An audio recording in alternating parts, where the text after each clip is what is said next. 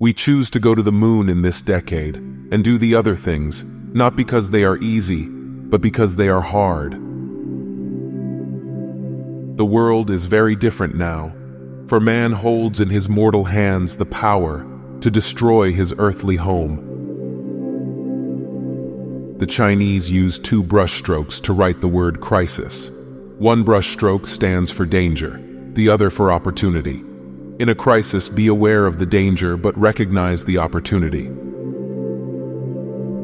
We are not afraid to bear any burden, pay any price to assure the survival and the success of liberty. Change is the law of life, and those who look only to the past or the present are certain to miss the future. Let us never negotiate out of fear, but let us never fear to negotiate.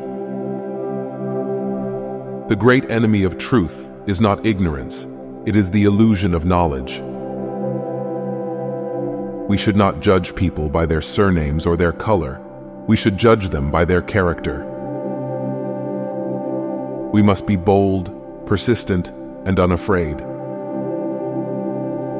The future belongs to those who believe in the beauty of their dreams.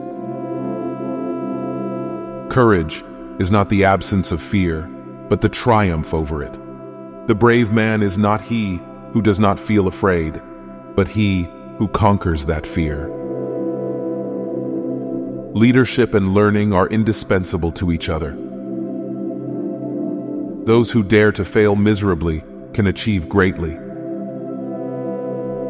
We are the most powerful nation in the world, but we must never forget that we are also the most responsible. A man may die, nations may rise and fall, but an idea lives on. Ideas have endurance without death.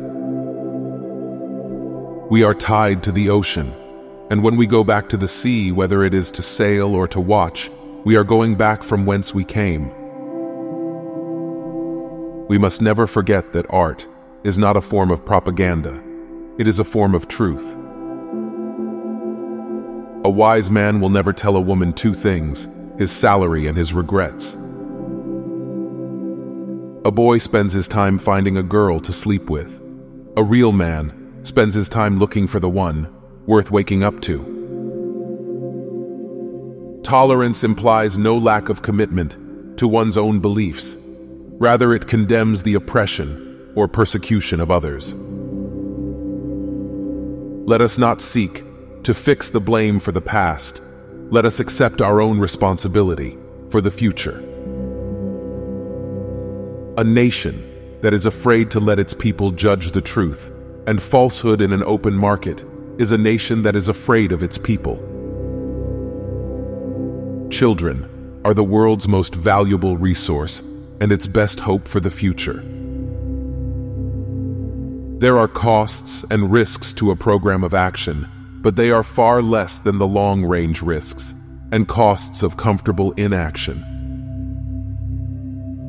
Those who foolishly sought power by riding the back of the tiger ended up inside.